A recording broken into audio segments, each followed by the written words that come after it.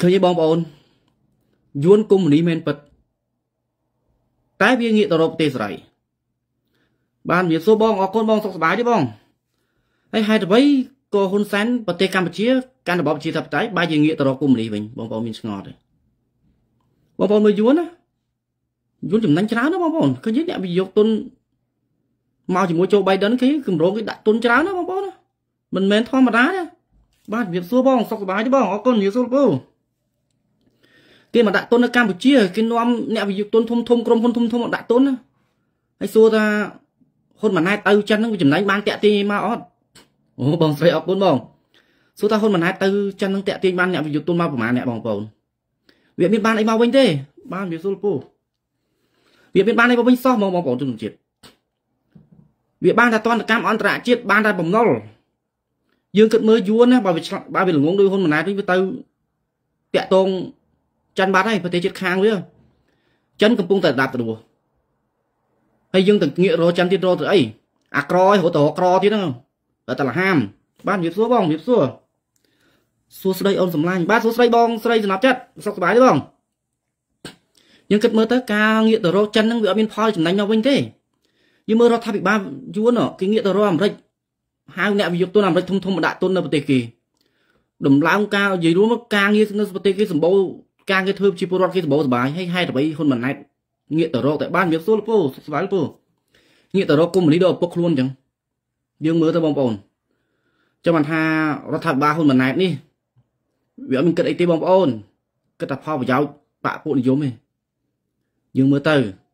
បើមានដឹកនាំគេឆ្លាតគេមានភាពបីឆ្លាតខាងផ្នែកសេដ្ឋកិច្ចខាងអីគ្រប់សពក៏ដោយគេមិនបានឡើងមកមិនអួតដូចយើងទេយើងនេះឡើងមកបានអសោទិស្ដីអួតទេ បើមានបានអីមកវិញទេបងប្អូនយួនឃើញចំណេញផលប្រយោជន៍គឺធំដុំមែនទែនបងប្អូនចំណេញខ្លាំងណាស់ចំណេញសម្បើមមកឲ្យប្រជាពលរដ្ឋគេសម្បូរការងារគេប្រទេសជាតិរីចម្រើនសេដ្ឋកិច្ចគេដើរហើយបើខ្មែរយើងសេដ្ឋកិច្ចកាន់តែដាំក្បាលចោលហ្នឹងហើយក៏អួតរហូតហ្នឹងវាអត់មានបានផលមកវិញទេមានសួរអ្នកមីងបងស្រីអត់សោះចាអូនបងសុខសប្បាយធម្មតាទេបាទបងអូសុខសប្បាយបងហ៎មិនទេបងស្រីនៅខ្មែរយើងស្ងាត់អត់ប្រជាពលរដ្ឋ99.5%មានការងារធ្វើហេ ងសួរប្រាប់ហើយហើយបើឯងនិយាយការពិតមើលមានមានទេអត់មានកាន់ជើងហេងសួរយើងមើលអត្រាពលរដ្ឋយើងនៅក្នុងស្រុកសប្តាហ៍ថ្ងៃអត់មានអីធ្វើទេបងប្អូនរោងចក្របិទចិត្តអស់ហើយសំបីនៅតំបន់ស្អាងពេកតូចរោងចក្រមួយនៅនៅខាងក្រោមវត្តឈុងលៀបនៅខាងលើពេកឡុងហ្នឹងរោងចក្រដេកបោកនាំចូលទៅអឺរ៉ុបហ្នឹងធ្វើពីថ្ងៃឈប់មួយថ្ងៃធ្វើពីថ្ងៃឈប់មួយថ្ងៃ អានោះរោងចក្រប្រកាន់រដ្ឋធ្វើមួយថ្ងៃឈប់ពីរថ្ងៃអឺធ្វើមួយថ្ងៃអឺធ្វើពីរថ្ងៃឈប់មួយថ្ងៃអញ្ចឹងដាច់បាយអស់ហើយអូនបាទបងបងឯងកុំលូដាច់បាយ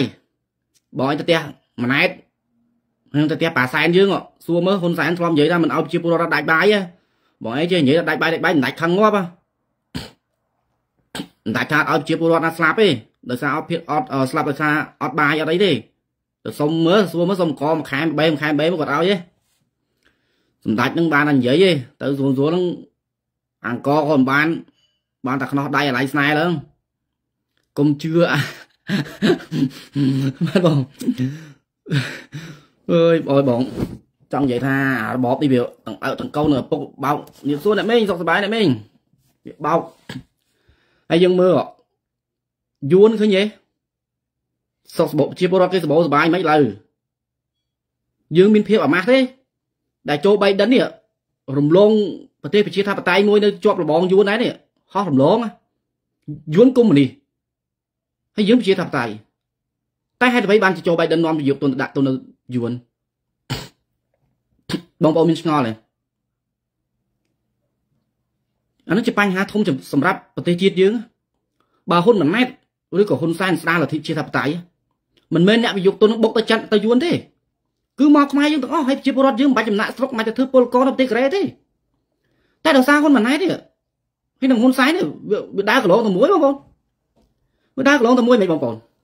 វាគិតតែចាប់ចងធ្វើទុកបុកម្នេញសកម្មជនបពប្រឆាំងទៅវាយធ្វើបាបគេហើយអន្តរជាតិគេជាពិសេសសហគមន៍អឺរ៉ុបអីប្រទេសជាធិបតេយ្យគេឲ្យយើងស្ដារលទ្ធិជាធិបតេយ្យយើងបែរជាមិនស្ដារយើងទៅធ្វើឌឺគេទៀតយើងក៏ឃ្លឿនដាក់គេទៀត អានេះសម្ដីហ៊ីមុនហៀងធ្លាប់និយាយណាបើអាមេរិកធ្វើទាំងក៏គ្លឿនក៏មិនចាយជាមួយអាមេរិកដែរត្រៀមវាយហ្នឹងសសម្ដីសសាហាវចឹងហើយយើងមើលបងប្អូនរំលងប្រទេសកម្ពុជានេះជាភាពអាម៉ាស់របស់កម្ពុជាយើងខ្លាំងបំផុតអ្នកវិយោគទុនល្អល្អរត់ទៅយួនយកតែអ្នកវិយោគទុនសង្គមបង្ងឹតដូចជាគ្រឿងញៀនយកមកប្រឡាត់ហើយទីទៀតនឹងនិយាយនឹងបញ្ហាគ្រឿងញៀនមួយទៀតបងប្អូនមើលហើយនឹងខ្លួនម៉ណែតនាំនាំមកសិតអញ្ចឹងហ្មង អត់មាននាំវិយោគទុនអីសិតតែដូចអ្នកគ្រប់គ្រងគាត់មួយចំនួនសិតតាំងអសម្ដេចហ៊ុនម៉ាណែតជាវិរៈបរោះខ្ញុំក៏តទៅវិញថាមុននឹងនិយាយវិរៈបរោះមើលផងវិរៈបរោះយើងពីមុនការពារប្រទេសជាតិការពារទឹកដីការពារប្រជាពលរដ្ឋមិនមែនវិរៈបរោះនេះគិតតែវាយកាប់ចាក់ប្រជាពលរដ្ឋទេ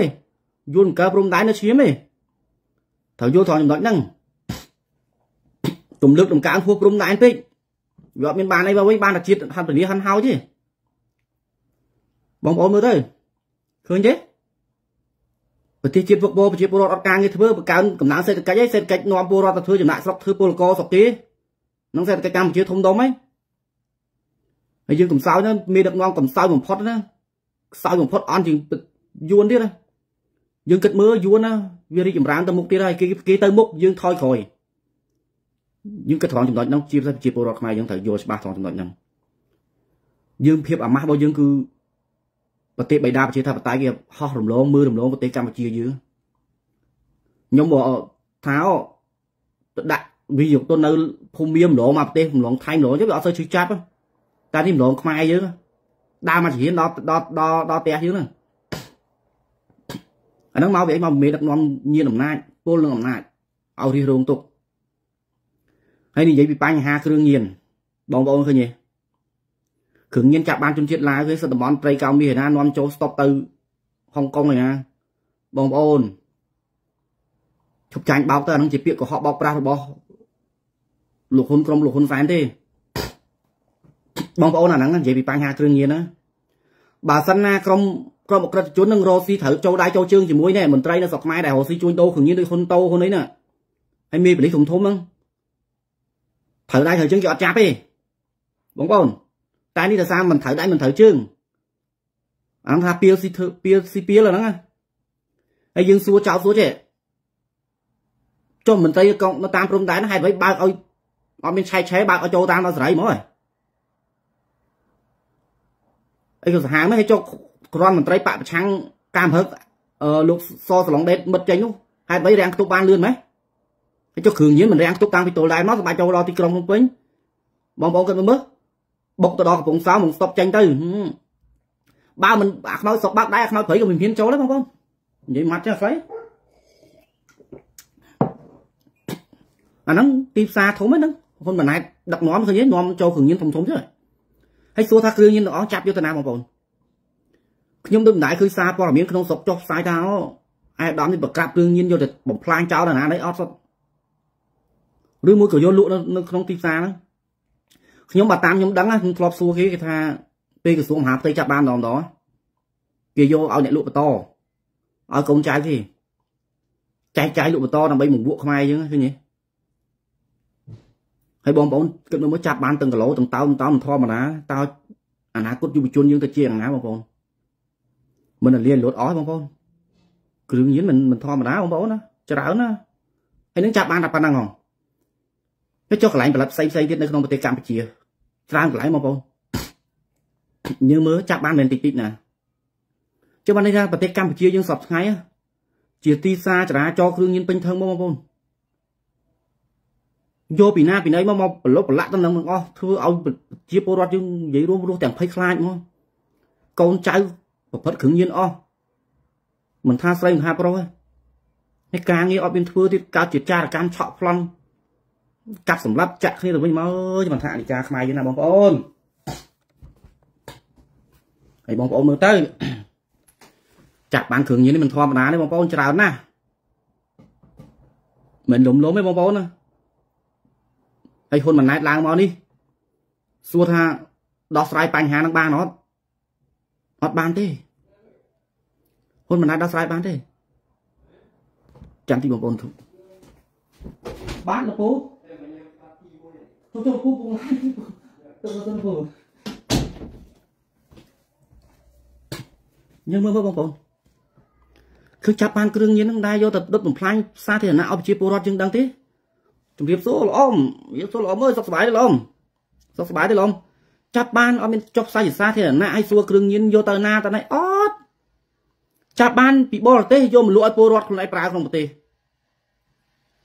ហើយចាប់បានចាប់បានតែកូនចៅមិនដែលចាប់បានអាមេធំធំទេវាចឹងចាំមកដាក់កំសោយមែនទែនជាពលរដ្ឋមេដឹកនាំខ្មែរយើងហើយនិយាយពីបញ្ហាសេដ្ឋកិច្ចហើយក្មួយបាទអរគុណពូជំរាបសួរអឺល្អជំរាបសួរយើងមើលរដ្ឋាភិបាលថ្មីដូចគ្នាថៃគេឡើងមកគេដោះស្រាយទុកកង្វល់ប្រជាពលរដ្ឋ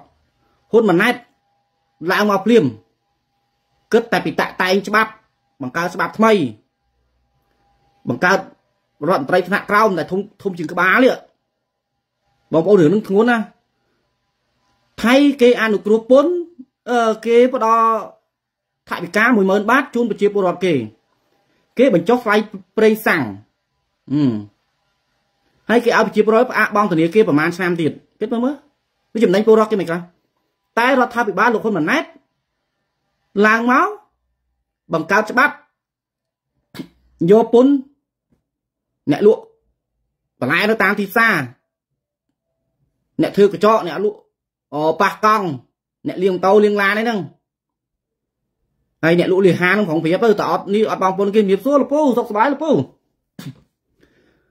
ហើយមកយកពន្ធប្រជាពលរដ្ឋអត់មានដំណោះស្រាយជូនប្រជាពលរដ្ឋឲ្យការងាររោងចក្របាត់អស់សួរថាលោកហ៊ុនម៉ាណែតយកឲ្យមកគិតនេះ នេះបងប្អូនជប់ចាំតិចបងប្អូនដូចវាជ្រុលពេករឿងបញ្ហាហ្នឹងណា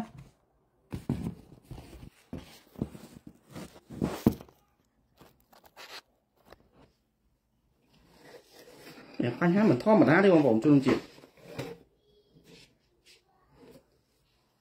ហើយយើងនេះគិតតែពីយកនេះគេផ្អាកបងធនាគាររយៈពេល3ឆ្នាំហើយឯងនេះគិតតែតម្លើងរហូតគេបញ្ចុះថ្លៃភ្លើង ហើយហ៊ុនម៉ាណែត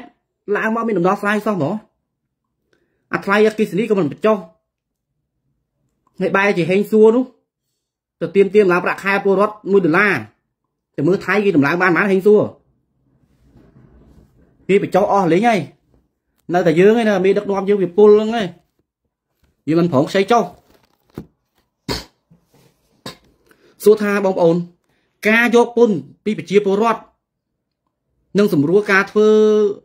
ប៉ាសពតទៅប្រទេសជិតខាងសួរថាពីចំណេញមកពលរដ្ឋអត់ធ្វើប៉ាសពតសម្រួលមែនគោលនយោបាយល្អតែមួយថ្ងៃធ្វើបាន2 3ហ្នឹងទៅដាក់លុយទៅមិនលឿនអាហ្នឹងសិស្សវិធីសាស្ត្ររលុយហ៊ុនសែនណាក្រុមលោកហ៊ុនសែនបងប្អូនបកកើតច្បាប់ចេញមកមួយមួយគឺបើមិនចំណេញដល់បាក់គាត់មិនចំណេញដល់ក្រុមគ្នាគាត់គឺអត់បកកើតទេ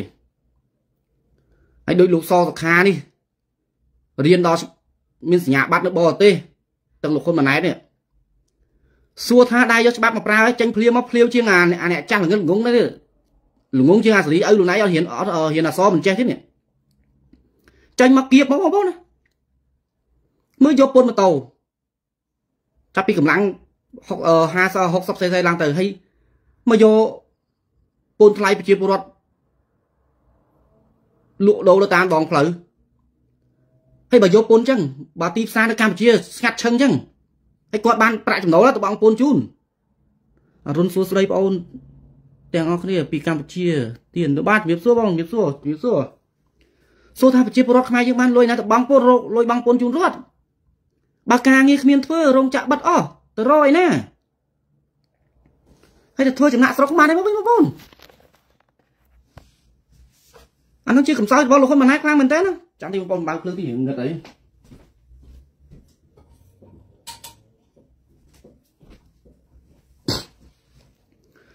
នឹងជាកំសោយរបស់លោកហ៊ុនម៉ាណែតដឹកនាំប្រទេសអត់កើតបងប្អូនបងប្អូនឃើញមើលទៅរដ្ឋាភិបាលថៃគេឡើងដូចគ្នាគេដោះស្រាយជូនពលរដ្ឋគេទុកកង្វល់ហើយចុះហ៊ុនម៉ាណែតឡើងមកនេះគិតតាគៀបប្រជាពលរដ្ឋដើម្បីយកលុយនោះទៅចិញ្ចឹមពួកអមន្ត្រីក្បាលធំជាងខ្លួននោះ តែដេកស៊ីប្រាក់ខែរៀលវាអត់ប្រយោជន៍អីសោះមិនបំរើរៀលពួកអស់នេះបង្កើតមកគឺដើម្បីគៀបសង្កត់រៀលអាហ្នឹងដូចគេហៅថាធ្វើស្រែលើខ្នងរៀលមិនធម្មតាបងប្អូនអត់មានផលចំណេញទេមកដល់ពលរដ្ឋទេនេះជាភាពអាម៉ាស់បំផុតសម្រាប់ប្រទេសកម្ពុជាយើងដែលមានមេដឹកនាំដ៏ល្ងងខ្លៅបំផុតតាំងពីឪពុករហូតដល់កូនយើងមើលទៅវាអន់ណាបងប្អូនវាអាម៉ាស់គេធ្វើឆាកអន្តរជាតិហ្នឹងប្រទេសតូចជាមួយប្រជាពលរដ្ឋតែ7 10 7 10លាននាក់ រកការងារពលរដ្ឋធ្វើមិនបានបែរជាយកពលរដ្ឋទៅលក់ទៅក្រៅប្រទេសធ្វើទីទីសកលគេនៅក្រៅប្រទេសវាអត់បំផុតបងប្អូនកម្ពុជាធ្លាក់ដុនតាភាសារបបហ្នឹងភាសាតកោហ៊ុនហ្នឹងហ្មងបងប្អូនតាំងពីសម័យណាមិនធ្ងន់ដូចសម័យហ្នឹងទេពលពតសម្រាប់នៅមែនតែការរស់នៅស្មារភាពគ្នាទាំងអស់គ្មានអ្នកមានគ្មានអ្នកក្រក្រក្រងអស់ហូបស្មើគ្នាទាំងអស់ហើយមកសម័យហ៊ុនសែននេះ អាអ្នកមានគឺមានអាអ្នកក្រគឺក្រអាគ្នារងគ្រោះនៅរងគ្រោះហើយមើលបងប្អូនចេញចេញច្បាប់មកបង្កើតគៀបពន្ធប្រជាពលរដ្ឋដូចវាអត់ត្រូវបងប្អូនធ្ងន់មែនទែនច្បាប់ហ្នឹងបងប្អូនវាអត់មានចំណេញដល់ពលរដ្ឋទេហើយសួរថាលោកឯងចេញច្បាប់យកពន្ធពីប្រជាពលរដ្ឋលោកឯងសិក្សានៅប្រទេសប្រជាធិបតេយ្យលោកឯងដែរគឺប្រទេសជាធិបតេយ្យគេទៅធ្វើចឹងហ៎គេយកពន្ធពីប្រជាពលរដ្ឋគេដែរតែជំនឿប្រាក់ចំណូលប្រជាពលរដ្ឋគេ តើក្នុងមួយថ្ងៃប្រជាពលរដ្ឋគេរកចំណូលបានប៉ុន្មានសូម្បីនៅកាណាដាទិញទឹកសុទ្ធក៏បងពន្ធដែរបងពន្ធដូចគ្នាប៉ុន្តែប្រជាពលរដ្ឋគេដែលលូថាអត់មានការងារធ្វើទេដែលស្័យទៅហូរយមទៅភាពអយុត្តិធម៌ទេគេមានការងារធ្វើគ្រប់គ្រាន់ហើយប្រជាពលរដ្ឋគេខ្លាចអីបងប្អូនហើយបងប្អូនគឺបងប្អូនទៅណាបងប្អូនជូនរដ្ឋរដ្ឋចូលពន្ធនឹងទៅធ្វើអីណោតែអភិវឌ្ឍប្រទេសជាតិទៅកសាងផ្លូវថ្នល់រាជដ្ឋានឯកសារសម្ព័ន្ធផ្សេងផ្សេងទៀត ជាពិសេសវិស័យសុខាភិបាលដល់ពេលយើងចាស់ទៅចូលពេទ្យអត់អស់លុយយើងឈឺទៅពេទ្យអត់អស់លុយមិនមែនដូចខ្មែរយើងគៀបយកពន្ធហើយណោទៅចិញ្ចឹមពួកអន្តរក្បាលធំជាងខ្លួនណោវាមានយកពន្ធមកជួយរៀនណាបងប្អូនភាគមើលមើលតើវាចំណេញមកដល់ពលរដ្ឋឬក៏ពលរដ្ឋត្រូវបងខាតពលរដ្ឋបងខាតបងប្អូនបងខាតសាររដ្ឋាភិបាលនឹងយកពន្ធពីប្រជាពលរដ្ឋយកទៅបំរើពួកអន្តរក្បាលធំជាងខ្លួនដែលដេកស៊ីប្រាក់ខែរៀល គ្មានជួយដល់ប្រទេសជាតិយកទៅជួយពួកចឹងចឹងចាំថាបង្កើតគណៈរដ្ឋមន្ត្រីគាត់ចេញទៅប៉ាមកគឺបង្កើតដើម្បីគិតសង្កត់ប្រជាពលរដ្ឋហត់ឈាមប្រជាពលរដ្ឋហ្មងវាសាហាវខូឃើញបងប្អូនហើយយើងមើលទៅបង្កើតច្បាប់មកថាចំនួនឪពុកខ្លួនដឹកនាំមួយមួយវាល្ងងចេញមកពីព្រៃហើយមកខ្លួនឯងកូនរៀនដល់ប្រទេសប្រជាធិបតេយ្យសឹកមានសញ្ញាបត្រតែដឹកនាំប្រទេសចេញច្បាប់មក អត់ជាងឪពុកទៀតវាហត់កាន់លងទេបងប្អូនយើងមើលមើលបង្កើតច្បាប់ឯណាយកពុនតាំងពីអ្នកធ្វើកញ្ចក់លក់បន្លែតាមដងផ្សារត្រូវបងពុនជូនរដ្ឋ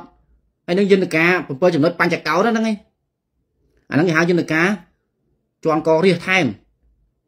មិនមែនយន្តការជួយរាសទេហើយនិយាយពីទ្រឹស្ដីវិញតាំងពីឪពុកដល់កូនទ្រឹស្ដីល្អណាស់គោលនយោបាយល្អតែការអនុវត្តវាអន់បំផុត វាខ្សោយបំផុតហ្នឹងជាភាពអាម៉ាស់ហើយ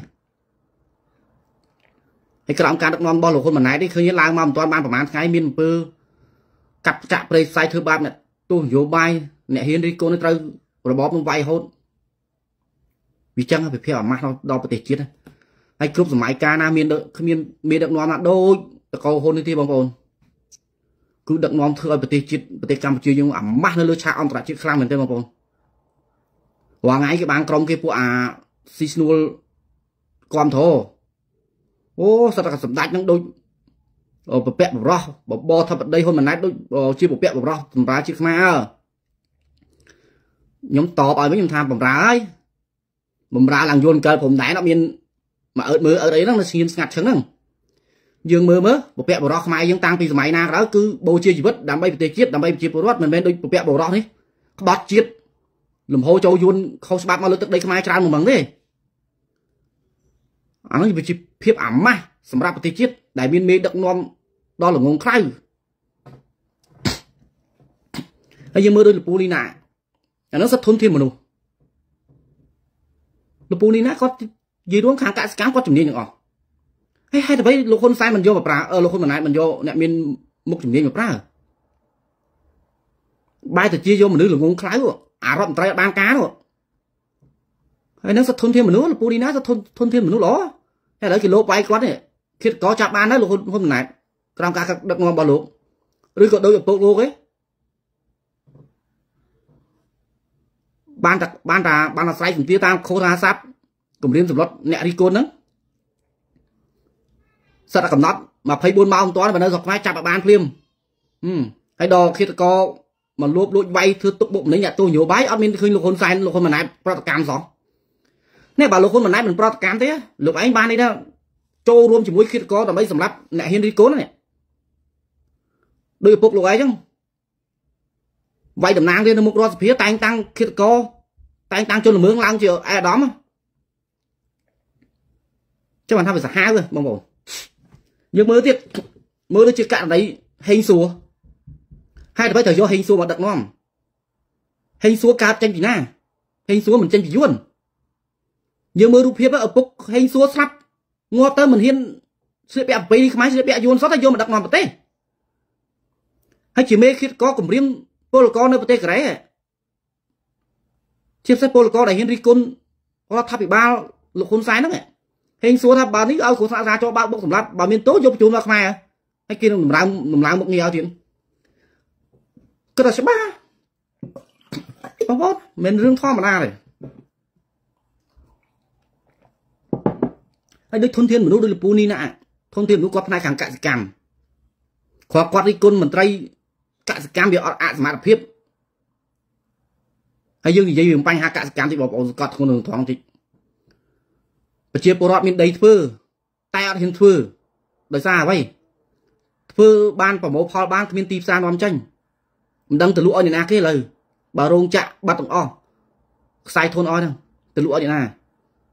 ហើយលោកហ៊ុនម៉ាណែតមិនរកទីផ្សារបានវាសួរបងស្រីហ៊ុនម៉ាណែតមិនរកទីផ្សារជូនប្រជាពលរដ្ឋទៀតគិតថាអួតអូសួស្ដីបតរោគិតថាបានតែអួតឪពុកអត់មានរកទីផ្សារជូនប្រជាពលរដ្ឋឃើញទេដាំបានថោកដល់ចឹងប្រជាពលរដ្ឋលេងហ៊ានដាំជំរឿសគឺមានតែធ្វើចំណាក់ស្រុកបើដាំយើងខាតយើងបានលុយណាទៅបងធនាគារ បានដើមរស់ស៊ីដោយសារយើងមិនយកប្លង់ដីប្លង់ផ្ទះប្រចាំធនាគារដើម្បីយកលុយហ្នឹងមកធ្វើដើមរស់ស៊ីហើយបើដាក់ទៅដាំបានឲ្យថោក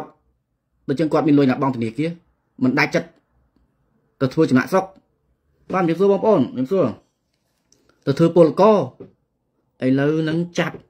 បងភៀពលករនៅថៃទៀតហើយអូបាទចាប់ទៅបងហ៎ឃើញទេសូម្បីពលករតែហ៊ានរិះគន់លោកហ៊ុនសែនក៏ចាប់ទេនៅដល់ថៃឃើញទេ តាមធ្វើបាបបានជំរាបសួរបងប្រុសជំរាបសួរបងសូម្បីពលករនៅថៃអានៅខ្មែរទៅវាយបែកក្បាលដេដល់អស់ប្រហែលថ្ងៃចង់ងាប់ចង់ហួរស្ទើងាប់ស្ទើហួរឥឡូវទៅវាយទៅចាប់ពលករនៅថៃទៀតដែលគ្រប់គ្រងបាក់ប្រឆាំងនឹងហ៊ានរិះគន់ការដឹកនាំរបស់លោកហ៊ុនម៉ាណែតអាហ្នឹងឯងជាការអភិវឌ្ឍរបស់លោកហ៊ុនម៉ាណែតនឹងយុទ្ធសាស្ត្របញ្ចកោណលោកឯងគួរតែចាប់នោះជនអន្តោប្រវេសន៍យួន យួនកាប់ខ្មែរដល់មិនយួនកាប់ខ្មែរនៅខណ្ឌសៃកែនឹងជាប់គុកនោះយួនហ្នឹងដោះស្រាយចេញទៅបងប្អូនមានដឹងទេស្ងាត់តែឈឹងចឹងព័ត៌មានតាំងពីឪពុករហូតដល់កូនខ្លាំងណាស់បានតែជាមួយជាតិសាសន៍ខ្លួនឯងវាល្មមឈប់យកជាតិសាសន៍ខ្លួនឯងកាប់ចាក់គ្នាទៅធ្វើជាសត្រូវគួរតែប្រើប្រាស់នយោបាយកិច្ចសន្ទនាយើងវិញសន្ទនាគ្នានិយាយភាសាគ្នាយើងជាខ្មែរដូចគ្នាហេតុអ្វីលោកហ៊ុនម៉ាណែតនៅបន្តគោលនយោបាយឪពុក គិតតែពីកាត់សម្លាប់គ្នាបងប្អូនគ្រប់សម័យកាលទាំងអស់ខ្មែរយើងមិនដែលបានសុខទេដោយសារភាពលុបលុនរបស់មេដឹកនាំហ្នឹងវាល្មមអំណាចស្នះជាស្ដេចចាញ់ជាចោលគេយកអត្រឹស្ដីរឿងមកប្រើរហូតដល់សប្តាហ៍ថ្ងៃនេះឃើញទេពលពលកាន់អំណាចជាស្ដេចហ៊ុនសែនរត់ចេញពីពលពតជាចោលដល់ហ៊ុនសែនផ្ដួលពលពតបានមកធ្វើទុកបុកម្នេញមន្ត្រីបាក់ឆាំងហ៊ុនម៉ាណែតបំរើយួនបាត់បងបំរើយួនអាយ៉ងយួនហ្នឹង ដល់បាក់ប្រឆាំងដេញបាក់ប្រឆាំងមេប្រធានបាក់មិនឲ្យនៅក្នុងប្រទេសគិតមើលមើលអានឹងជារូបភាពវាអាក្រក់អាម៉ាស់សម្រាប់ប្រទេសជាតិយើងដែលមានជាតិសាសន៍ខ្លួនឯងដូចគ្នាអ្នកនយោបាយយើងអត់ជាសហការគ្នាកសាងប្រទេសជាតិអត់គ្រប់សម័យកាលសួរថាពលរដ្ឋខ្មែររួចផុតពីពលពតតើប្រជាពលរដ្ឋខ្មែររស់នៅបានសបោសបាយសុខសบายអត់ឈប់ភ័យខ្លាចទាំងអត់អត់ទេរួចពីរបបបងចប់មកចូលរបបគុកច្បាក់ ចាប់ដាក់គុករបបលួចវាយគុលស័យអាហ្នឹងសិតសិតតែចឹងហើយយើងមើលបងប្អូនណាល្មមឈប់ហៅហ៊ុនម៉ាណែតថាជានាយករដ្ឋមន្ត្រីទៅយើងគួរហៅថាអាឡើងតាមជើងខោពុកអារដ្ឋមន្ត្រីយុរដ្ឋមន្ត្រីសច្បាប់លោកហ៊ុនសែនបានឡើងកាន់អំណាចដោយសារអ្វីដោយសារការធ្វើរដ្ឋប្រហារទម្លាក់សម្ដេចគុំព្រះនរោត្តមប្រាណិតរដ្ឋប្រហារនឹងឡាំប៉ាបោះឆ្នោតចាញ់គណៈបកហ៊ុនស៊ិនពេជ្រឡាំប៉ាបរយ បកកើតជានាយករដ្ឋមន្ត្រីពីរចុងក្រោយឃើញទេហ៊ុនសែនប្រើយុទ្ធសាស្ត្រស្នះស្នះគេនឹងស្នះថាខ្មែរគ្នាឯងហើយសួរថាហ៊ុនម៉ាណែតឡើងតាមណាហ៊ុនម៉ាណែតមិនឡើងតាមឪពុកគេមិនអោយខ្មែរណាមួយរស់ដោយសុខឡើយបាទបងត្រឹមត្រូវមិនឡើងតាមឪពុកវាមិនដែរអាណាបោះឆ្នោតឪពុកចូលឈ្មោះជាបេក្ខភាពនាយករដ្ឋមន្ត្រីហើយដល់បោះឆ្នោតជាប់ឲ្យកូនធ្វើនាយករដ្ឋមន្ត្រីហើយចុះបើដឹងថាកូននឹងមានសមត្ថភាពសិតអួតកូនលោតឆាត់យងឆាត់អី ឲ្យកូនចូលឈ្មោះផ្ទាល់មកសម្បាច់ឡើងតាមជើងខោឪពុកទៅស្អីមែនទេបងប្អូនយើងពិភាក្សាមើលត្រង់ចំណុចហ្នឹងតែដោយសារហ៊ុនម៉ាណែតគ្មានសមត្ថភាពទឹកឪទាំងកូនគ្មានសមត្ថភាពទេទឹកឪទាំងកូនបានឡើងកាន់អំណាចដោយសារយួនយួនជាអ្នកលើកបន្ទប់យួននៅពីក្រៅទាំងអស់ ហើយខ្មែរយើងអ្នកដឹកនាំមួយណាក៏ដោយគិតតែច្បាំងគ្នាដណ្ដើមអំណាចគ្នាទឹកដីតាំងពីមហានគរគេយកដល់អស់នៅសល់ប៉ុណ្្នឹងហើយហើយអ្នកស្នេហាជាតិអ្នកដែលតស៊ូហ៊ានពាក់លីជីវិតដើម្បីប្រទេសជាតិគឺត្រូវគេសម្លាប់ទាំងអស់ក្រោមមេដឹកនាំដែលល្មមអំណាចយើងមើលគ្រប់សម័យកាលមកតាំងពីសម័យស្ដេចរហូតដល់សម័យយុរដ្ឋមន្ត្រីទៀតជាពិសេសឈ្មោះនឹងគេហ៊ុនសែនហ្នឹងបងប្អូនទឹកដីប្រទេសកម្ពុជាដែលដូនតាយើងខំការពារជាពិសេសបុព្វបុរសយើងដែលខំពាក់លីជីវិត ច្បាំងជាមួយនឹងសត្រូវស្រីពៀនយួនសៀមអីហ្នឹងអាលាយធ្វើហ៊ុនសែនហ្នឹងបងប្អូនអាលាយធ្វើទឹកកោហ៊ុនហ្នឹងអាលាយយ៉ាងម៉េចបងប្អូនឃើញទេយួនអង្កលព្រំដែនយើងហ៊ានមានហ៊ានតែអឺតអត់វាបើសិនណាប្រជាពលរដ្ឋតែមើលព្រំដែនយកកំភ្លើងការពារមិនឲ្យតែមើលទៀតហ្នឹងបានវាសួងទឹកសុខបាយបងអត់ឲ្យពលរដ្ឋទៅមើលផងណាហើយនេះយុរដ្ឋមន្ត្រីការពារ ការពារទឹកដីហ្នឹងបរិយបរោះដែលពួកគ្រប់គ្រងលោកហ៊ុនសែនតែងតែព្រុសហ៊ុនម៉ាណែតកាន់អំណាចយួនបានដៃវាយខ្មែរបាទបងនិយាយរួមទៅបងសេណារីយ៉ូនឹងយួនជាអ្នករៀបចំតាំងពីយូរបងហ៊ុនម៉ាណែតឡើងមកនឹងចំបយមើលដូចខ្ញុំនិយាយហ្នឹងបោះគោក៏ដាច់ដែរបងប្អូនហើយសំហ៊ុនសែនឡើងទៅផុតលេខទៀតដេញស្ដាច់លេខឲ្យនៅក្រៅប្រទេសនៅក្នុងប្រទេសទៀតហើយប្រធានរដ្ឋសភានោះយួនហាន់ណូយទៀតវាត្រូវហ្មងអូ ចង់សាមប្រធានដីឲ្យយួនណាតែមួយម៉ោងគេហៅភ្លាមភ្លាមបងអត់ដល់អត់បានមួយម៉ោងគាត់អាស្រ័យគ្រឹះស្ថាបតាពឹបពឹបចុះហត្ថលេខាព្រះមហាក្សត្រភ្លាមឲ្យស្ដាច់ទៅនៅណវាចឹងចឹងបានប្រជាពលរដ្ឋខ្មែរយើងហ្មងភ្ញាក់លើកឲ្យបងប្អូនអើយបងប្អូនចង់ជួយប្រទេសជាតិស្រែកឲ្យគេជួយយើងត្រូវជួយខ្លួនយើងយើងមើលនៅករណីលពូលីណាឃើញគាត់ប្រហោះថាឲ្យហ៊ុនម៉ាណែតជួយរោយុទ្ធធរ លពូលីណាអើយបើប្រទេសគេប្រជាធិបតេយ្យលពូអត់ដល់24ម៉ោងគេសរសើរសៀវរកឃាតករមកឃើញយកមកដាក់ផ្ដន់ទីតូតាមច្បាប់ហើយតែនេះអាឃាតករវាយលពូហ្នឹងហើយនឹងអាអាកានៅពីក្រោយក្នុងឃាតករគឺវាតែមួយបើហ៊ុនម៉ាណែតហ៊ុនសែនមិនបើកដៃរាល់ករណីធំធំដែលវាយធ្វើបាបសកម្មជនបកឆាំងនឹងអ្នករិះគន់ហ្នឹង គឺគេចាប់បាត់ហើយតែដោយសារហ៊ុនម៉ាណែតនិងហ៊ុនសែននៅពីក្រោយបើហ៊ុនម៉ាណែតហ៊ុនសែនបើកដៃពួកហ្នឹងក៏មិនហ៊ានធ្វើដែរព្រោះអីប្រទេសកម្ពុជាយើងមានច្បាប់មានរដ្ឋធម្មនុញ្ញប្រជាពលរដ្ឋមានសិទ្ធិរិះគន់ការដឹកនាំរបស់យុរដ្ឋមន្ត្រីហើយកិច្ចព្រមព្រៀង23ដុល្លារឲ្យមេដឹកនាំកម្ពុជាគ្រប់សិទ្ធិប្រជាពលរដ្ឋមិនមែនឲ្យមេដឹកនាំកម្ពុជាហ្នឹងមកវាយក្បាលប្រជាពលរដ្ឋដែលហ៊ានរិះគន់ទេ មកចាប់ប្រជាពលរដ្ឋដែលហ៊ានដាក់ដែលហ៊ានរិះគន់ដាក់គុកទេវាមិនមែនចឹងទេលោកហ៊ុនសែនមើលច្បាស់គិតកគឺហ៊ុនម៉ាណែតនឹងឯងបាទបងគិតកពិតប្រកបដូចខ្ញុំនិយាយតាំងពីឡាយការឡាយមុនចឹងបងប្អូនបើតុលាការបារាំងចាប់លោកហ៊ុនសែនបាន គឺប្រទេសកម្ពុជារួចផុតសេចក្តីមរណៈប្រជាពលរដ្ឋសបោសបាយឲ្យលេងទុកលំបាកហើយ ទុកលំបាកតែយួនចិនបងប្អូនហ៊ុនសែនគឺជាមេដែលរៀបចំផែនការទាំងអស់នៅក្រៅខ្នងហ៊ុនសែនគឺយួននិងចិនបងប្អូនត្រូវដឹងចំណុចហ្នឹងបើគ្មានយួនគ្មានចិនគឺហ៊ុនសែនក៏គ្មានពេលកាន់អំណាចនេះដែរបាននិយាយសួរបងសួរថាហ៊ុនសែនបានឡើងកាន់អំណាចដោយសារអ្នកណាដោយសារយួនចិនហ្នឹងបើហ៊ុនសែនខ្លាំងមែនហ៊ុនសែនសម្បត្តិទៅចុះសិទ្ធិសញ្ញាទីក្រុងប៉ារីសហើយវាយពលពតព្រួលហ្មង តែហ៊ុនសែនទៅជាមួយពលពតមិនកើតទៅវាមិនរួចយួនវាពឹងផ្អែកទៅលើសូវៀតសូវៀតវាដួលរលំដល់ចឹងទៅយួនបង្ខំឲ្យហ៊ុនសែននឹងចរចាទៅហើយហ៊ុនសែនមកបោកពលរដ្ឋថាគាត់នឹងប្រើយុទ្ធសាស្ត្រស្នេហ៍បង្កាប់ពលពតហ៊ុនសែនគ្មានសមត្ថភាពអីទេបងប្អូនហ៊ុនសែនឡើងកាន់អំណាចដោយសារយួនលើកបន្ទប់បើគ្មានយួនក៏គ្មានហ៊ុនសែនដែរបាទបងហើយបើគ្មានហ៊ុនសែនក៏គ្មានហ៊ុនម៉ាណែតដែរបងប្អូន ហើយក៏គ្មានហ៊ុនម៉ានីនឹងមកមកកាន់មុខតំណែងធំធំដែររឿងនេះវាចឹងហើយជាពលរដ្ឋខ្មែរយើងមើលប្រវត្តិសាស្ត្រផងទៅកុំតែមើលតែរឿងបំពុលសង្គមពេកយើងមើលករណីលពូនីណាអបើហ៊ុនម៉ាណែតមានសមត្ថភាពមែន24ម៉ោងមិនទាន់ទេឃាតករនឹងរត់អត់រួចទេ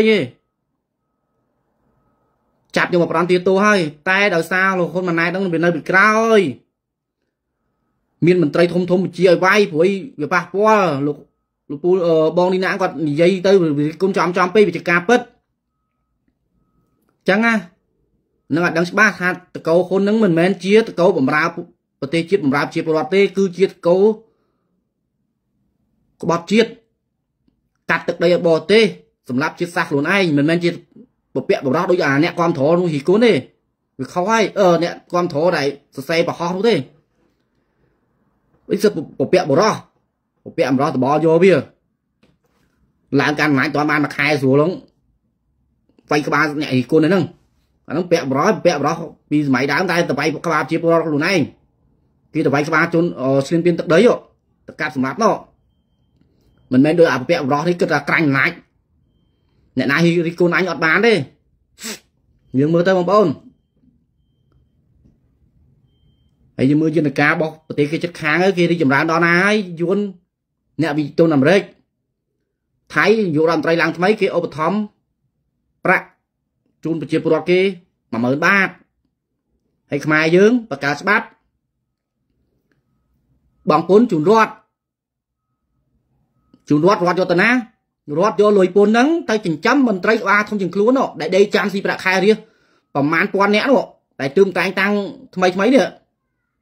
ហើយសួរមន្ត្រីនេះវាដោះស្រាយទុកកង្វល់ពលរដ្ឋបានអត់យុទ្ធហរអ្នកវិយុគទុនមកបានអត់អត់បានទេបើយើងចង់ទៅរកអ្នកវិយុគទុនមកក៏យើងស្ដារលទ្ធិជាថាបតៃជំរាបសួរលោកពូ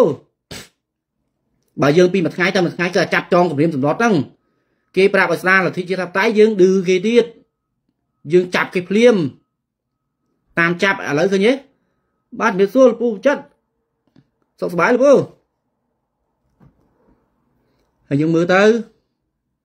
បញ្ហាទុកកង្វល់ពលរដ្ឋដោះស្រាយបានហើយហ៊ុនម៉ាណែតឡើងមកហ្នឹងដូចជាករណីដំណោះដីធ្លីនៅស្រុកកណ្ដាលស្ទឹងរៀនយន្តហោះថ្មីដោះស្រាយចេញទៅលោកហ៊ុនម៉ាណែតបានជំរាបសួរលោកពូសុខសប្បាយលោកពូ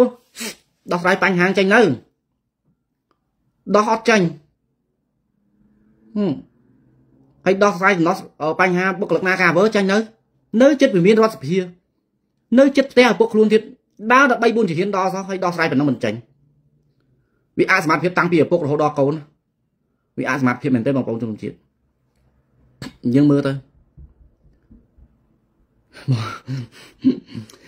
បងអើយមើលទៅឲ្យស្ងាត់ឈាមអស់ហើយស្រុកខ្មែរយើងស្ងាត់ដូចចោលដូចសេះសេដ្ឋកិច្ចអត់ដើរគិតតែមានអំពើចារកម្មអ្នកដែលហ៊ានរិះគន់ត្រូវគេវាយដូចបងប្រុសនីណាក់ចឹងស្ទើរស្លាប់ស្ទើររស់ហើយសួរចាត់ឃាតករយកមកប្លន់ទាទូបានអត់អត់ទេ ណឃាតករប្រហែលជាដេកឡើងបនសាក់ខែទៀតស្នាដៃល្អខាងវាយធ្វើបាបអ្នកហ៊ានរិះគន់យើងមើលការលោកហ៊ុនសែនទៅការវាយធ្វើបាបមន្ត្រីបកប្រឆាំងធ្វើទុកបុកម្នេញហ្នឹងសុកទុកធម្មតាទីមួយបានពូដែលលោកហ៊ុនសែនចាប់ឃាតករម្ដងទៀតទៅបានទេចាប់បានឃាតករហើយដែលវាយតំណាងទៀតនៅមុខរដ្ឋសភាដំឡើងបនសាក់ថែមទៀតអានោះជាភាពអាម៉ាស់មកដូចយើងគ្រប់គ្រងឲ្យប្រើប្រាស់អំពើហិង្សាក្នុងប្រទេសកម្ពុជាទៀត អានោះបងប្អូនមិនធម្មតារឿងបញ្ហាហ្នឹងហើយជាពិសេសសូមផ្ញើសារជូនប្រជាពលរដ្ឋខ្មែរយើង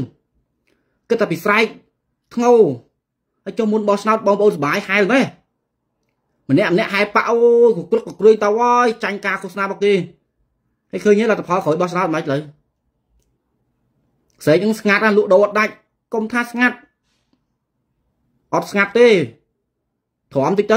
2050កម្ពុជាយើងសេដ្ឋកិច្ចនឹងកើនឡើងជាងយួនជាងថៃហើយ ហ៊ុនម៉ាណែតនិយាយតាទ្រាំទៅ2050ខ្ញុំហ៊ាននិយាយមកបងប្អូនណាខ្ញុំថាតាម2030ទេខ្មែរយើងបើមិនអស់ទឹកដីក៏នៅក្រោមការគ្រប់គ្រងរបស់យួនដែររឿងឲ្យថា2050ហ្នឹងរីកចម្រើនអត់ទេយើងមើលព្រំដែនណាផុយស្រួយមែនទែនបងប្អូនជាពលរដ្ឋគេរំកិលគ្រប់ពេលវេលាទាំងអស់ ហើយបែរជារដ្ឋមន្ត្រីក្រសួងការពារជាតិអីគ្មានឈឺឆ្អាលរឿងហ្នឹងទាំងអស់ណាបែរជានៅស្ងៀមវាយតំណាងរាអត់ជាប់គុកតែឡើងសាក់បាទបងចាំថាករណីវាវាហួបងប្អូនវាភាពអាម៉ាវាយតំណាងរាតំណាងរាគឺប្រជាពលរដ្ឋបោះឆ្នោតគ្រប់គ្រងឲ្យធ្វើតំណាងរាគាត់ហើយបែរជាលោកហ៊ុនសែនបណ្ដោយឲ្យឃាតករមកវាយស្ទើស្លាប់ស្ទើររស់វាយហើយចាត់ឃាតករគាត់ដាក់ទោសទៀតយកទៅដំឡើងសាក់ អាហ្នឹងវាជាភាពអាម៉ាស់សម្រាប់ប្រទេសជាតិហើយមកហ៊ុនម៉ាណែតដូចលពូនេះណានេះឃាតករនឹងឡើងបនសាក់ទៀតហើយស្នាដៃល្អហើយអញ្ចឹងម្នាក់អឺទៅចឹងវាបានចិត្តអូមេចោលហ្នឹងវាយអានោះទៀតដាក់ភឹបភឹបទៀតឡើងបនសាក់ទៀតចឹងមិនថាបងប្អូនជាពលរដ្ឋខ្មែរយើងរឿងសពថ្ងៃនេះរឿងធ្ងន់ណាស់ប្រទេសកម្ពុជាយើងងាយភ័យស្រួយនឹងបាត់បង់ទៅប្រទេសជិតខាងដោយសារមានមេដឹកនាំល្ងងខ្លៅ ខ្វះចំណេះដឹងលមោកអំណាចយើងមើលទៅការប្រជុំនៅបណ្ដាប្រទេសប្រជាធិបតេយ្យទាំងអស់ទៅចូលរួមកិច្ចប្រជុំនៅលើឆាកអន្តរជាតិដែលថាហ៊ុនម៉ាណែតហ្នឹង2050ដឹងតែជនជាតិយួនជនជាតិ100%បាទលោកពូត្រឹមត្រូវដូចខ្ញុំនិយាយមិនបាច់ដល់2050សេដ្ឋកិច្ចកម្ពុជារីកចម្រើនទេតាម2030ហ្នឹងទៅទុកពេលឲ្យនេះ7ឆ្នាំទៀតនឹងដឹង សខ្មៅហើយបងប្អូនទៅមើលទៅនេះហេងសុយចូល2024ហ្នឹងយួននឹងប្រហែលម៉ឺនអ្នកប្រហែលលានអ្នកមកទៀតនេះហ៊ុនម៉ាណែតទៅទៅចិនហ្នឹងមិនមែនទៅទៅអត់ផលប្រយោជន៍ដល់ចិនទេតែហៅជនជាតិចិនមកនៅស្រុកខ្មែរហៅមកបល័តគ្រឿងញៀនទៅយកបំណុលពីចិនហ្នឹងមកឲ្យពលរដ្ឋខ្មែរអ្នកសងវាចឹងណាមិនមែនទៅនឹងទៅហៅអ្នកវិយោគទុនមកឯងអ្នកវិយោគទុនស្រុកចិនគេមិនអ្នកអូស៊ីត្រឹមត្រូវគេមិនភ្លឺមកស្រុកខ្មែរវាដឹងស្រុកខ្មែរយើង ពុកអលួយជិះជាន់ប្រជាពលរដ្ឋដល់ចឹងគេមិនមកទេហើយមើលយួនគេឆ្លាតគេទៅហៅអាមេរិកអ្នកលក់គ្រឿងញៀនចេញពីគុកធ្វើប៉ូលីសមកបានរឿងហ្នឹងចាំនិយាយតិចចាំតិចនិយាយពីបញ្ហាអ្នកលក់យកអ្នកលក់គ្រឿងញៀនចេញពីគុកធ្វើយល់ធ្វើធំហើយអាមេរិកឃើញទេគេដាក់គេបបួលអ្នកវិយោគទុនមកច្រើនធំធំក្រុមហ៊ុនធំធំគេមកដាក់នៅនៅយួនច្រើនបងប្អូន ហើយដល់ចុងសេដ្ឋកិច្ចប្រទេសយួនឡើងរីកចម្រើនមែនទែនខ្លាំងសេដ្ឋកិច្ចយួនបងប្អូនមិនធម្មតាហើយដល់ខ្មែរយើងហៅចិនមកអីផលិតគ្រឿងញៀនអូចាត់ចម្រិតមនុស្សវាចឹងហៅមកចឹងយើងយកបំណុលឲ្យពលរដ្ឋមិនមែនថាមកទៅមកដើម្បីអភិវឌ្ឍប្រទេសជាតិឲ្យរីកចម្រើនទេអត់ទេហើយដូចករណីបងប្រុសគាត់ខមមិនមែនអញ្ចឹងយូរមេគ្រឿងញៀនជាប់គុកឡើងធ្វើជាមេប៉ូលីស ហើយយកស្អីមកមកគិតដឹកនាំប្រទេសសពថ្ងៃទៅយកអីមកមកមកមកអនុវត្តបើលោកឯងជ្រុលចឹងណាបកកើតច្បាប់ទេមកអ្នកណាមានស្នាដៃល្អវាយពួកបាក់ប្រឆាំងវាយអ្នកហ៊ានរិះគន់ណានឹងឡើងជារដ្ឋមន្ត្រីក្រសួងការពារជាតិហើយនឹងស្នងការខេត្តនឹងរាជរាជធានីវាល្អចូល Biden ទៅយួនសម្ដេចណែតទៅចិនបងកុំហៅសម្ដេចណែតហៅអាក្បត់ជាតិវាត្រូវជាង មិនមែនសម្ដេចទេស្រុកខ្មែរសម្ដេចមានតែមួយស្ដេចចោលមិនទៀតទៅចិនបាត់ហើយសួស្ដីបងបាទសួស្ដីបងហៅក្បត់ជាតិក្បត់ជាតិ3ចំនួនអត់មានស្ដេចឯណាមកមួយខ្ញុំទេនយោបាយរដ្ឋមន្ត្រីខ្ញុំឈប់ហៅទេបើគ្មានហ៊ុនសែនក៏គ្មានហ៊ុនម៉ាណែតដែរបើអត់យួនក៏គ្មានហ៊ុនសែនដែរបងប្អូនកុំទៅឆ្ងល់ហ៊ុនសែនកើតចេញពីណាកើតចេញពីយួនហ៊ុនម៉ាណែតកើតចេញពីណាកើតចេញពីហ៊ុនសែនហ្នឹង ដែលមានយួនជាបងឯងហ្នឹងប្រវត្តិសាស្ត្រចាច្បាស់ហើយហើយចាំមើលទៅប្រជុំអង្គការសហជីវជាតិហ្នឹងហ៊ុនម៉ាណែតរងភាពអាម៉ាស់យ៉ាងម៉េចខ្លះបងប្អូនរងខ្លាំងណាគេត្រៀមធ្វើបាតកម្មហើយហើយចាំមើលទៅសួរថាហ៊ុនម៉ាណែតហ្នឹងបានបានបានបានផលប្រយោជន៍ផ្លែផ្កាពីការប្រជុំអង្គការសហជីវជាតិមកជូនប្រទេសជាតិទេអត់ទេរីកចម្រើនស្អីបងអូនចាប់ផ្ដើមងាប់បណ្ដាបណ្ដាឲ្យបងអូនបាទបង រឿងបញ្ហាហ្នឹងចឹងហ៎ចាប់ផ្ដើមរើរើហើយបងអឺមើលមើលការទៅទៅជួបនៅលើឆាកអន្តរជាតិប្រជុំកិច្ចប្រជុំអាស៊ានឃើញអាម៉ាស់ហ៎យុរដ្ឋមន្ត្រីឥណ្ឌូនេស៊ីគេមិនចង់ជួបបងឯងនេះខំយកធ្វើអាអ្នកគ្រប់គ្រងសិតតែស្នាមញញឹមហ៊ុនម៉ាណែតតាក់ទាញប្រជាប្រិយប្រជាពលរដ្ឋកម្ពុជាអើកុំទៅតាក់ទាញអ្នកវិយោគទុនក៏តាក់ទាញប្រជាប្រិយហ្នឹងស៊ីសៀងទៅស៊ីអំបល់ទៅវាល្អហើយហើយយើងមើលមើល តែមើលបងប្អូនជនជាតិណាពេលទៅប្រជុំអង្គការសហជីវជាតិត្រូវប្រមាណប៉ុណ្ណឹងហើយតនកម្មប្រមាណមកមកមកលើពលរដ្ឋខ្មែរហើយយើងសួរមើលបើត្រូវតនកម្មអន្តរជាតិតើអ្នកណាអ្នកអ្នកជួបការលំបាកគឺប្រជាពលរដ្ឋខ្មែរមិនមែនតកោហ៊ុនជួបការលំបាកទេតកោហ៊ុនមានលុយច្រើនណាលុយលក់ជាតិលុយកាប់ព្រៃឈើមានច្រើនណាតែប្រជាពលរដ្ឋខ្មែរវេទនាដូចអពលចឹងបង្ខំចិត្តធ្វើចំណាក់ស្រុកបង្ខំចិត្តធ្វើពលករនៅប្រទេសគេ ទៅធ្វើកាជះស្រុកគេធ្លាប់តែសម័យពីមុនមកខ្មែរយើងយកបរទេសមកកសាអឺមកធ្វើកាជះយើងឥឡូវយើងយកយើងទៅធ្វើកាជះស្រុកគេវិញវាអាម៉ាស់បងប្អូនយើងមើលទៅកំសោយរបស់ហ៊ុនម៉ាណែតខ្លាំងបងប្អូនជនជាតិអសមត្ថភាពពូជល្ងងខ្លៅដឹកនាំប្រទេសអត់ទៅមុខទេបងប្អូនយើងមើលរីចម្រើនត្រង់ណាជាតិហាន់ហើយទៅអស់លេងហ្នឹងបងប្អូន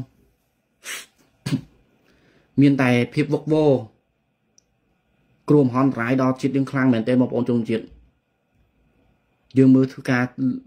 ចាប់សកម្មជនគ្រប់គ្រងបពប្រឆាំងនៅប្រទេសថៃឃើញទេចាប់អស់លីងទៀតអាក្នុងស្រុកបៃធ្វើបាបមិនទាន់រកភាពយុត្តិធម៌ជូនផងឥឡូវទៅចាប់អាក្រៅប្រទេសទៀតខ្ញុំថានេះគឺជាកំសោយរបស់មេដឹកនាំយើងអាយ៉ងយួនបងហើយហ្នឹងស៊ីយកស្នាមភាពញញឹមហើយ អត់មានស្នាមភាពញញឹមទេហ៊ុនម៉ាណែតគឺជាជុំក្បត់ជាតិហ៊ុនម៉ាណែតតកោហ៊ុនគឺជាតកោក្បត់ជាតិបងប្អូនហ៊ុនម៉ាណែតគ្មានទីចម្រើនដឹកនាំប្រទេសទេបងប្អូនត្រូវចាំបើសិនណាមេដឹកនាំមួយណាក៏ដោយជាប់ស្នោតឡើងមកភ្លាមដូចថៃយ៉ាងគេយកបញ្ហាពលរដ្ឋគេហើយបើមេដឹកនាំផ្ដាច់ការដូចកែងជើងឡើងមកឃើញគិតថាពីពង្រឹងសមត្ថភាពក្រុមគ្រួសារខ្លួនប្រឹងអំណាចដូចហ៊ុនម៉ាណែតទៅឃើញ ឡើងមកភ្លាមពង្រឹងអំណាចពង្រឹងអីភ្លាមវាអត់មានចំណេញដល់ជាតិទេបងប្អូនធ្វើចឹងពលរដ្ឋរងគ្រោះបងប្អូនបានយល់ទៅបងរងគ្រោះវេទនាដោយសាររបបហ្នឹងបងប្អូនឃើញទេសេដ្ឋកិច្ចក៏អត់ដើរយូរទៅបង្កើតច្បាប់ជន់ករៀសយូរយូរទៅបង្កើតច្បាប់នាំពលករទៅធ្វើកញ្ជះនៅស្រុកគេធនធានមនុស្សដែលមានចំណេះដឹងដែលមានជំនាញចង់ធ្វើចូលធ្វើកិច្ចការងារបម្រើប្រទេសជាតិចូលទៅតាមណាកើត បើសិតតែខ្សែពួកអាមន្ត្រីធំធំទាំងអស់ហ្នឹងដូចបងប្រុសនេះណាសិតតែធនធានមនុស្សល្អកម្ររកបានវាវាយសម្លាប់ដូចហ្មងសម្លាប់ដូចលោកបណ្ឌិតកែមលីឃើញទេលោកបណ្ឌិតកែមលីអ្នកវិភាគសង្គមកិច្ចការគឺសង្គមអ្នកដែលមានទេពកោសលល្អហ្មងគឺរបបផ្ដាច់ការគេសម្រាប់ចៅអត់ទុកទេហើយមកដូចលពូនេះឬបងប្រុសនេះណាឃើញហ្មងហ្មងវាយវាយសម្លាប់យកហ្មងហើយខ្ញុំសុំនិយាយបញ្ហាមួយទៀត មានអ្នកខ្លះគេឆាតសម្លេងមកថាអ្នកប្រាជ្ញស្រុកខ្មែរវាមិនខ្វះទេតែគេមិនហ៊ានចេញមុខចេញមុខគេសម្លាប់អស់លោកអ្នកប្រាជ្ញហើយអ្នកមានបញ្ញាស្រុកយើងកំពុងតែត្រូវការបើអ្នកឯងមានចំណេះដឹងអ្នកឯងគិតនៅលាក់អត់ជាផ្ដល់យោបល់ឲ្យអ្នកក្លាហានអ្នកឯងលាក់ចំណេះដឹងជុំងុំអ្នកឯងលក់ក្បាលបំរើជនរាជការទៀតដូចបកគោលមួយចំនួនឃើញទេមានចំណេះដឹងមានអីបាយជាទៅលក់ដំកតិឲ្យជនរាជការគ្រប់គ្រងជនរាជការដឹកនាំប្រទេសដូចបកគោលមួយចំនួននោះឃើញទេ ទៅក្រាប់ផ្ទឹមមេឃិតកោដែលសម្រាប់ពលរដ្ឋខ្លួនឯងទៅក្រាស់សំពះមេឃិតកោដូចវាសាហាវពេកហ្មងដូចអន់ថោកទីបំផុតហ្មងយើងដឹងហើយហើយថាបុគ្គលនឹងជាអ្នកសម្រាប់ខ្មែរបុគ្គលជាអ្នកកាត់ទឹកដីយួនបើយើងក្រាបសំពះបុគ្គលនឹងណែខ្ញុំមកសួរក្រាបសំពះបុគ្គលនឹងទៅសំពះអ្នកសុំទាននេះវាល្អជាងព្រោះអ្នកសុំទានក៏អត់មានបាតដៃប្រឡាក់ជាអត់មានបាតដៃប្រឡាក់ជាអត់មានបាតដៃធ្វើបាបពលរដ្ឋអត់មានបាតដៃទៅកាត់ដីឲ្យយួន គាត់ដឹងអាដាសុំទានស្មាត់ទោសខ្ញុំមិនថាប្រមាណទេតែបើឲ្យយើងសំពះរវាងអាចោក្បត់ទៀតហ្នឹងអ្នកសុំទានយើងស្ពះអ្នកសុំទានវាល្អជាងវាគិតកសម្រាប់មនុស្សពេញថឹងអ្នកណាកាត់ដីអាយុនគឺវាណាហើយបាយទៅក្រាបសំពះទឹមជាងម៉ែឪទីនេះវាដល់ថ្នាក់ហ្នឹងពេអាងោះហៅម៉ាត់ចឹងហើយក៏អន់អន់ម៉េះទៅក្រាបសំពះគិតកអី ដូចវាជ្រុលពេកបងប្អូនបាទហើយសូមបងប្អូនប្រជាពលរដ្ឋខ្មែរយើងភ្ញាក់លើកឡើងបើចង់ឲ្យអន្តរជាតិគេជួយយើងក្រោកឈរបើក្រោកឈរយើងកុំក្រោកម្នាក់យើងត្រូវក្រោកទាំងអស់គ្នាក្រោកម្នាក់គេវាយធ្វើបាបហើយបើក្រោកអស់គ្នាជាមួយហ៊ុនសែនផ្នែកសផ្នែកលោកហើយពួកហ្នឹងហើយកុំស្រែកបើយើងអត់ក្រោកទៅកុំស្រែកកុំធ្ងោបងប្អូនជាពិសេសខ្ញុំផ្ដាំទៅអ្នកដែលហែបាក់ហែមុនកុំធ្ងោ ទីផ្សារសេដ្ឋកិច្ចយើងល្អហើយទ្រាំតិចទៅបងប្អូនណា2050កម្ពុជានឹងក្លាយជាមហាសេដ្ឋកិច្ចនៅអាស៊ីហើយតិចទៀតគេអួតថាកម្ពុជាជាខ្លាសេដ្ឋកិច្ចនៅអាស៊ីដូចឪពុកអញ្ចឹងខ្លាសេដ្ឋកិច្ចឃើញទេវាខ្លាខ្លាំងពេកឡើងអ្នកវិនិយោគទុនគេខ្លាចគេរត់ចេញគេអស់លេងហ្នឹងព្រោះខ្លាគេកាត់ជាសត្វកាយសាហាវដូចអញ្ចឹងគេភ័យគេមិនរត់ហ្នឹងខ្លាសេដ្ឋកិច្ចតាំងពីមានរោងចក្រពលរដ្ឋមានការងារធ្វើប្រាក់ចំណូលយើងមធ្យមដល់លើអស់លីង មានស្អីគេដាក់វិនិយោគទុនទៅយួនអស់លីងហ្នឹងគេមិត្តទៅយួនហ្នឹងបើជាល្ងងខ្លៅទៅអោបជើងចិននេះអញអញហួសចិត្តបងប្អូនអត់មានមើលគ្រប់មេដឹកនាំបណ្ដាប្រទេសនានាដូចស្រីលង្កាដោយសារអោបជើងចិនបានប្រទេសជាតិវាលាយបានអឺចិនកាត់កំពង់ផែអស់មួយអានោះដោយសារអោបជើងចិនកម្ចីចិនហើយនៅមិនយកគំរូតាមបងប្អូនទៅចិនសានេះបើអត់មានកម្ចីពីចិនវាអត់ទៅទេ ទៅយកបំណុលពីចិនមកឲ្យខ្មែរមើលហ៊ុនសែនគាត់ទៅណាទៅចិនហើយសួរហ៊ុនហ៊ុនម៉ាណែតហ៊ានហ៊ានហ៊ានជំរឿទៅប្រទេសអូស្ត្រាលីអត់អត់ហ៊ានទៅទេព្រោះគេអត់ទទួលស្គាល់ហ៊ានទៅជប៉ុនអត់ហ៊ានទៅបារាំងអត់ហើយមកអាមេរិកនេះបើអត់មកក្របខ័ណ្ឌអង្គការសហជីវជាតិទេគេមិនឲ្យចូលទៀតណាឃើញត្រីធំធំស្រុកខ្មែរប្រហែលទេដូចជាហេងសួងគេអត់ឲ្យមកទេ វាមានស្នាដៃល្អពេកហើយល្មមភ្ញាក់ខ្លួនហើយបងប្អូនជាពលរដ្ឋខ្មែរយើងត្រង់ចំណុចហ្នឹងនេះជាភាពអាម៉ាស់សម្រាប់ប្រទេសជាតិយើងទៅមូលមន្ត្រីធំធំនៅគ្រប់ក្រសួងក្នុងប្រទេសកម្ពុជាគេអត់ឲ្យមកចូលរួមកិច្ចប្រជុំអង្គការសហជីវជាតិវាខ្មាស់ទេគេបិទទៅការនេះជាភាពអាម៉ាស់បងប្អូនមុំនឹងខ្លួនហើយរឿងបញ្ហាហ្នឹងញាក់លើកឡើងមើលបើចង់ឲ្យគេជួយត្រូវក្រោកឈរហើយកុំភ្លេចថ្ងៃទី22ហ្នឹង សូមបងប្អូនជាពលរដ្ឋខ្មែរជួយ like ជួយ share បានច្រើនកកមកកុំខ្លាចកុំព្យាយាមតាមដានរឿងបំពុលសង្គមវាអត់បាននេះមកវិញទេបងប្អូនវាអត់បានទេ share រឿងជាតិបានជួយដល់ប្រជាប្រទេសជាតិយើងរីកចម្រើន បានចំណេះដឹងបើ share រឿងបំពុលសង្គមវាគិតបំពុលសង្គមទេវាមិនរីកចម្រើនទេថ្ងៃទី22កុំភ្លេចជួយ like ជួយ share បងប្អូនហើយរាល់ការព័ត៌មានដែលបងប្អូនយើងអឺ live ផ្ទាល់និយាយពីបញ្ហាសង្គមជួយ like ជួយ share ផងបងប្អូនអើយដូចជាភ័យវិរៈភាពសំរងស៊ីភ័យអើកាណាដាអវតាហ្នឹងហើយទូទូនេស្កាយហ្នឹងហើយកិច្ចសភាថ្នាក់ដឹកនាំធំធំហ្នឹងមេតាជួយ like ជួយ share ជាភាសាអាស៊ីសេរីស្ដាប់ទៅព័ត៌មានពិតអាស៊ីសេរីខ្ញុំនិយាយតាមត្រង់ការខ្ញុំនៅខ្មែរវាខុសពីអាស៊ីសេរីហើយនឹង VOD អីវិទ្យុបារាំងខ្ញុំអត់ស្ដាប់ទេទៅស្ដាប់អាប្រែកញូហ្នឹងវាបំភ្លឺការពិតព្រោះយើងនៅរស់នៅស្រុកខ្មែរយើងដឹងស្រាប់ហើយមានបញ្ហាយើងដឹងហើយហើយពួកនឹងដាក់ហ៊ានចុះផ្សាយអត់ ដូចជាករណីបាយបងប្រុសនេះណាសារព័ត៌មានក្នុងស្រុកមានចុះផ្សាយទូទួមានផ្សាយអត់ផ្សាយដែរផ្សាយតែរឿងអភិវឌ្ឍហ្នឹងអភិវឌ្ឍមកដុំនឹងអួតមកអួតណូមានផ្សាយយន្តកិលព្រំដែនអត់មានផ្សាយប្រជាពលរដ្ឋមកទៀមទាតវ៉ានឹងដំណត់អីធ្លីអត់អត់ផ្សាយទេខ្លាចបាយជាចុងក្រោយខ្ញុំបាទចកខ្មៅមានតែប៉ុណ្ណឹងបងប្អូនសូមជូនពរពុកម៉ែបងប្អូនជនរួមជាតិសូមមានសុខភាពល្អគ្រប់គ្រប់គ្នាបងប្អូនណា បងប្អូនត្រូវតែរួមគ្នាក្រោកឈរទាំងអស់គ្នាដើម្បីប្រឆាំងរបបដឹកនាំផ្ដាច់ការបើបងប្អូនមិនក្រោកឈរទេទុកវេទនាគឺប្រជាពលរដ្ឋយើងនឹងហើយបងប្អូននឹងហើយហើយកុំភ្លេចបើយើងដេកនៅស្ងៀមគេយកដីយើងអស់ហើយគេជន់ក្បាលយើងទៀតបើគេជន់ក្បាលយើងហើយយើងមិនក្រោកឈរដូចវាអន់ទេបងប្អូនកុំដូចសัตว์វាអន់ជាងសัตว์ទេបងប្អូនពស់ខ្ញុំនិយាយរឿងពស់ចុះពស់វែកពស់ឯកឡើយតែជន់តែជន់ចំវាបច្ចឹកឯង ហើយបើបងប្អូនគេជន់ក្បាលយើងហើយយើងមិនងើបក្រោកឈរយើងនៅដេកឲ្យគេជន់ទៀតហ្នឹងវាអន់ជាងសัตว์ទេបងប្អូនក្រោកឈរទាំងអស់គ្នាមកហើយកុំស្រែកទាំងអយុធធម៌អយុធធម៌កុំស្រែកពាក្យចឹងក្រោកឈរមកបើចង់បានយុទ្ធធម៌ត្រូវតែក្រោកឈរតែបើអត់ចង់បានយុទ្ធធម៌ដេកទៅដេកដងងាប់ទៀតទៅអាដេកក៏ស្លាប់អាក្រោកក៏ស្លាប់ក្រោកមកបានជាសុខឡងសុខសប្បាយបងគ្រប់មកទាំងអស់គ្នាមកដើម្បីទាមទារសិទ្ធិសេរីភាពយើងមកវិញពីជនផ្ដាច់ការតកោហ៊ុនបងប្អូនបាទមានប៉ុណ្ណឹងបងប្អូន